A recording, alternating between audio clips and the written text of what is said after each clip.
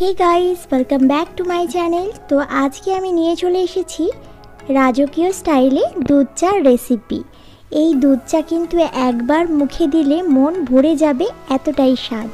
এলাইচি দুধ চায়ের রেসিপি চলুন দেখে নিই কীভাবে বানিয়েছি।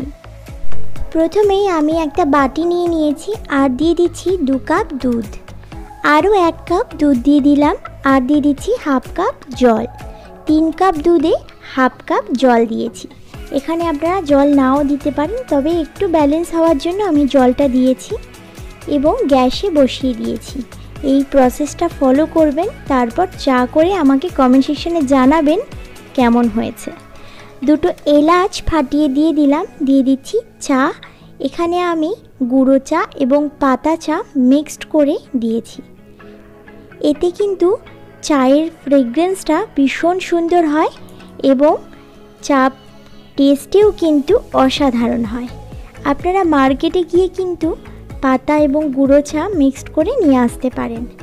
এরপর চাটা ফুটতে শুরু করে দিয়েছে।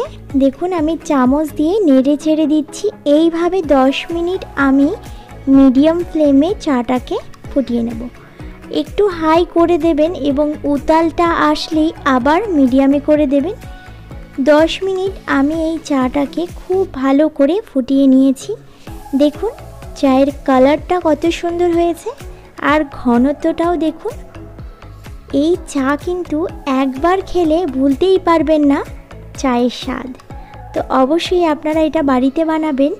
রাজকীয় স্টাইলের চা রেসিপি আজকে কমপ্লিট হয়ে গেছে। আমরা বাঙালি, তাই চা একটুও বেঁচে থাকুক, তাই আমরা চায়ের ছাঁকনিতেও বাকি চাটা দিয়ে ছেঁকে নিয়েছি। এইভাবে কাপে চিনি দিয়ে চা সার্ভ করুন এবং আপনি আপনার পরিবার স্বজনকে সবাইকে করে খাওয়ান। ভালো থাকবেন, সুস্থ থাক আমি আবারও চলে আসব নতুন একটা রেসিপি নিয়ে। আজকের মতো এখানেই শেষ করলাম।